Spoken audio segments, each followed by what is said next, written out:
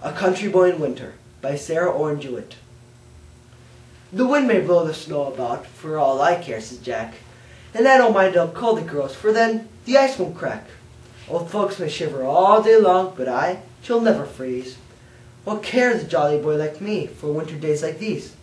Far down the long snow-covered hills it is such fun to coast, so clear the road the fastest sled there is in school I boast.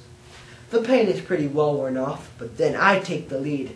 A dandy sled's a loiterer, and I going for speed.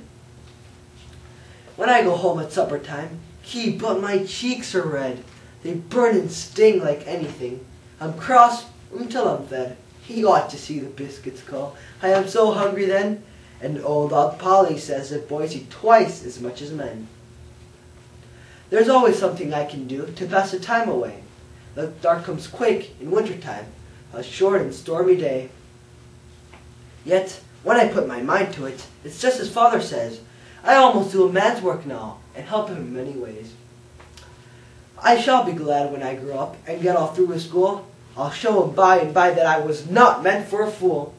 I'll take the crops off this old farm. I'll do the best I can. A jolly boy like me won't be a dolt when he's a man. I like to see the old horse neigh, just as I come in sight. The oxen poke me with their horns to get their hay at night.